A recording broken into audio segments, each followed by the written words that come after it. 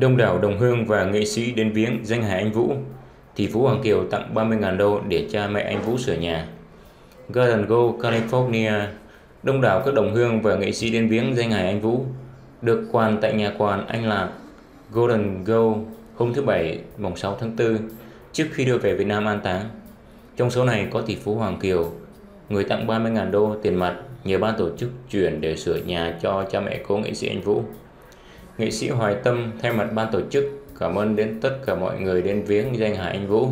Chúng tôi xin thay mặt tất cả cảm ơn các thầy, các ni cô chùa Điều Ngự, các nghệ sĩ đồng hương khắp nơi, từ trong nước tới hải ngoại đã hỏi thăm, đóng góp, thăm viếng và chia buồn với sự mất mát này. Nghệ sĩ Hoài Tâm nói, chúng tôi xin đặc biệt cảm ơn ca sĩ Hà Phương đã đóng góp rất lớn cho phần việc tại Mỹ. Nghệ sĩ cũng cho biết, theo chương trình, đáng lẽ thứ ba mới đưa danh hài nghệ sĩ về, nhưng nhờ mọi thủ tục được nhanh chóng bất ngờ nên tối ngày Chủ nhật ngày 7 tháng 4, thi hài của người qua cố sẽ được đưa lên máy bay đưa về quê nhà.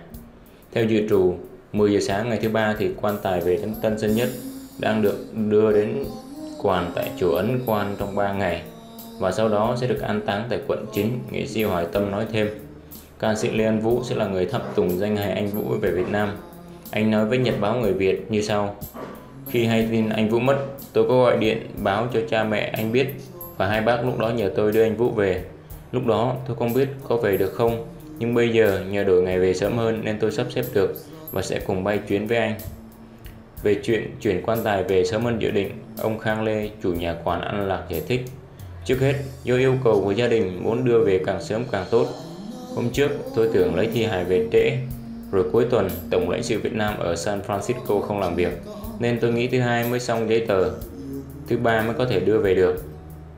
Sau khi xin phép Sở Vệ sinh, Phòng Khảo nghiệm, mặc dù là thứ sáu, chúng tôi được một người tên Hải ở Tổng lãnh sự trên San Francisco giúp đỡ nhiệt tình.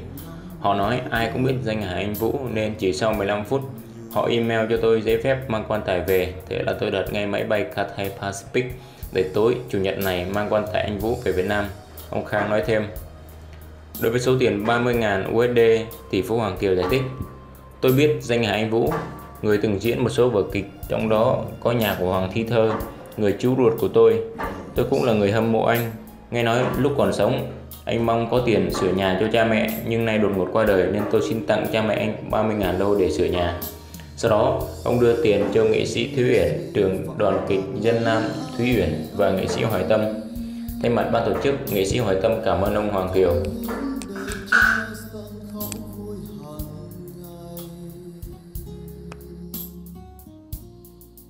anh đi đời vẫn tiếng cười nỗi sẵn xa thương mộng kiếp người.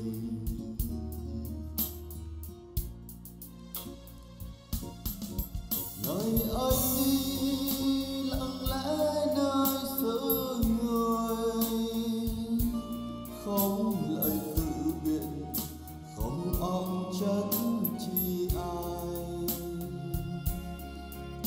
mẹ anh, đồng nghiệp ngóng trông anh. Thăm nén hương, mong anh yên giấc lành. Mong trở về năm lại nơi cố hương.